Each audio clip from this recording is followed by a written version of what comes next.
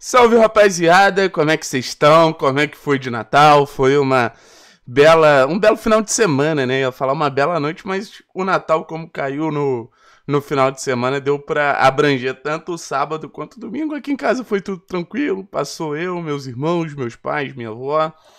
Foi, foi bem íntimo, mas também foi divertido. A gente conseguiu aproveitar bem o final de semana, deu para dar uma descansada também, ficar com a família. A gente já começa a semana falando de mercado da bola, né? Que vem sendo um assunto até polêmico, de certa forma, pelas escolhas que o Atlético vem tomando, pela maneira como o Atlético ele vem agindo em algumas situações, principalmente com jovens jogadores, né? Vem gerando uma certa preocupação a maneira a maneira como o Atlético agiu com o Christian, a maneira como o Atlético vem agindo com o Patrick, com o Jader, jogadores que, que se existia uma expectativa por eles é, renderem bem, né, conseguirem dar um retorno técnico ao Atlético, mas nem o Patrick nem Jader é, a tendência é que vão ter tempo para isso, né? Foram jo dois jogadores assim que jogaram muito pouco com a camisa do Atlético e já estão sendo negociados. E esse vídeo é para explicar a intenção do Atlético daqui para frente no mercado da bola. Foi um final de semana que o Alexandre Matos ele respondeu alguns torcedores, né? A gente teve acesso a essas respostas. A gente apurou, falou com algumas pessoas também para tentar explicar para vocês o que vem daqui daqui para frente, né? Primeiro de tudo, o Atlético ele usou esse início de mercado para duas intenções primordiais. A primeira, manter os seus principais jogadores. A gente vem falando nas últimas semanas como é importante, como é um sonho do Atlético essa questão da manutenção da base, como é, é, uma das prioridades do Atlético que essa base seja mantida, porque o Atlético confia muito na base que ele conseguiu formar, no time que ele conseguiu formar. O time titular do Atlético e mais três, quatro, cinco peças ali no banco é, formam uma das equipes mais fortes do, da história do Atlético talvez o elenco mais sólido da história do Atlético. E o Atlético ainda aposta muito que vários jogadores que não deram a resposta que se imaginava em 2022 possam dar a resposta em 2023 com a sequência de um trabalho, com uma pré-temporada. Muito por isso o senhor Paulo Turra foi escolhido. Para que não houvesse mais uma ruptura, para que tudo que começou em 2022 pudesse ter sequência.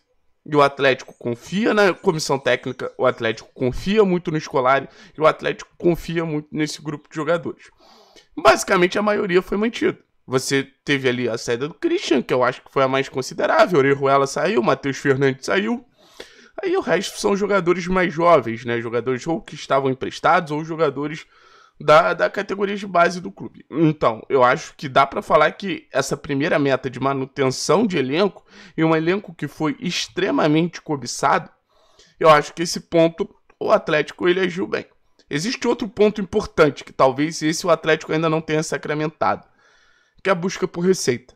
A gente não pode falar que o Atlético ele é um time que tem facilidade de conseguir receitas que os outros times têm, que os seus principais concorrentes têm.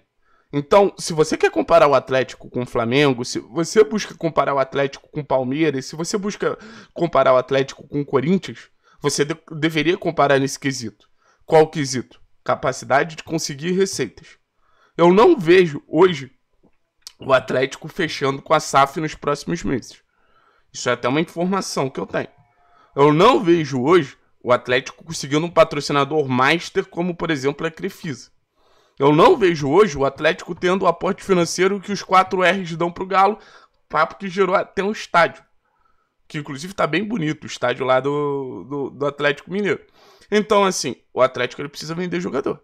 O Atlético ele tem duas fontes de receita que são bem lucráveis nas últimas temporadas: venda de jogador e premiação. Se o Atlético conseguir novamente ter uma boa temporada esportivamente, se o Atlético conseguir ter os objetivos alcançados e até superados, como foi em 2022, talvez o Atlético não precise, por exemplo, fazer vendas no meio do ano. Ou na próxima janela o Atlético esteja mais protegido. Mas hoje vender jogador é um dos caminhos que o Atlético tem para se manter saudável financeiramente, estável financeiramente e com uma capacidade de investimento, sabe? Então, não é que o Atlético vende porque ele quer. O Atlético vende porque ele precisa. Mas da mesma maneira que vende, o Atlético precisa comprar. E é, e é essa talvez a grande informação que a gente conseguiu no final de semana. Com os últimos movimentos, a gente está um pouco pessimista do que o Atlético ele vai fazer em relação a contratações nesse restante de janela, né? A gente até chegou a comentar aqui que não era para esperar nada demais, não. Nenhuma movimentação mais agressiva, nenhuma movimentação que a gente olhe e fale, ah, não. Beleza, o Atlético vai contratar jogador tal, jogador tal. Mas o que chegou até a mim, eu vou tentar informar para vocês, depois eu dou uma leve opinião. O Atlético ele ainda busca reforços. O Atlético vai contratar. Mas o Atlético ele tem alguns critérios para trazer jogadores. O primeiro de todos é não é contratar por contratar. O Atlético busca se reforçar. Então, o contrato que o Atlético quer é com, é com jogadores que elevem o nível da equipe em posições específicas que já foram mapeadas. O Atlético sabe quais são as prioridades. O Atlético já tem uma lista de prioridades, principalmente zaga e ataque. São duas posições que o Atlético busca e busca consideravelmente. Um zagueiro mais alto, incomodou muito internamente a questão da bola aérea. Todo mundo sabe. O Filipão, que, é, querendo ou não, é um cara que tem um pouco do seu jogo voltado para a defesa. Ele ficou bem chateado porque fez uma série de treinos, conversou, mostrou vídeo e tudo mais.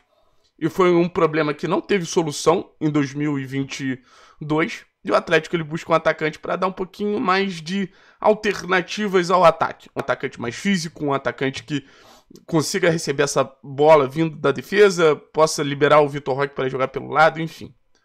É mais ou menos isso que o Atlético tem como prioridade. Ah, pode chegar um volante?